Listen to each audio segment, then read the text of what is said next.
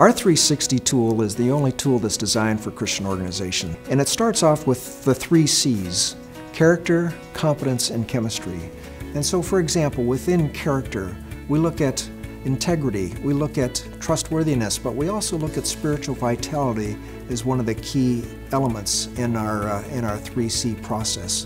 Also under competence, we look at spiritual leadership in addition to strategic leadership and getting results and, and other aspects of the competency required, customer service for example, or customer focus. And then under chemistry, we look at the ability to build high-performing teams and the effectiveness of communication. So these are the key elements of our 360 review process that help leaders identify their own strengths and opportunities for improvement to be even a better leader in their organization.